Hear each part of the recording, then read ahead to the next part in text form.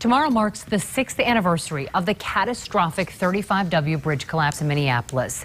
Still, the images of the smoldering concrete, the twisted metal, and the bloody victims are impossible to forget.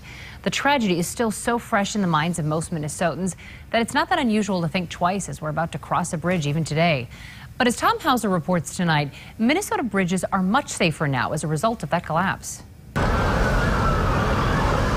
The collapse of the 35W bridge over the Mississippi River served as a national wake-up call regarding bridge safety. Six years later, Minnesota is in the midst of a major bridge replacement and repair program bridge inspections have also been stepped up. Our bridges are safe, and I believe that because of the advancements we've made in bridge safety over the last several years, that uh, we have a safe system of bridges in Minnesota. In response to a bridge safety bill in the 2008 legislature, the state identified 172 bridges deemed structurally deficient or fracture critical. Deficient bridges are in generally poor condition. Fracture critical means if one bridge support component fails, the whole bridge could collapse. As dire as those designations sound, State Bridge Engineer Nancy Daubenberger says they don't mean the bridges are unsafe to drive on yet. And that doesn't mean that there is an immediate safety concern. It merely means that something needs to be programmed in the way of investments on that bridge, whether it's a repair or replacement project. All 172 bridges on Minnesota's list are in the process of being repaired or replaced, including the Lafayette Bridge here in St. Paul. It was considered both structurally deficient and fracture critical. The bridge is being replaced after a long history of problems. In 1975, a major crack was discovered in a steel support beam that could have been catastrophic. Are you worried that the bridge might collapse?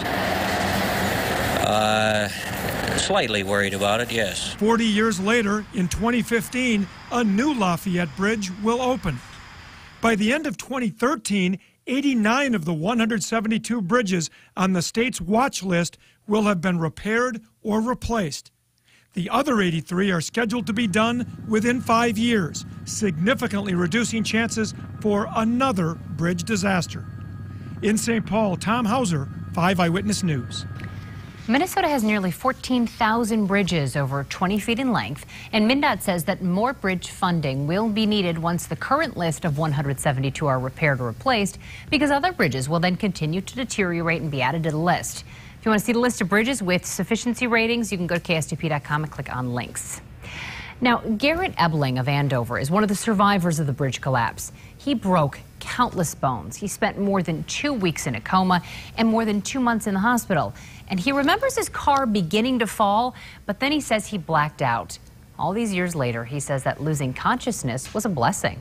That's the one aspect of PTSD that I didn't have was the nightmares. The, because uh, you didn't remember what happened. Yeah, because I don't remember. Um, but the other parts of PTSD were very evident. Um, feelings of irritability, frustration, um, kind of short, having a short fuse, things that, feelings that I, I didn't really have before this had happened. He does tell us he got professional help and that it worked. A year after the collapse, he got married. Today, he has a son and his own business.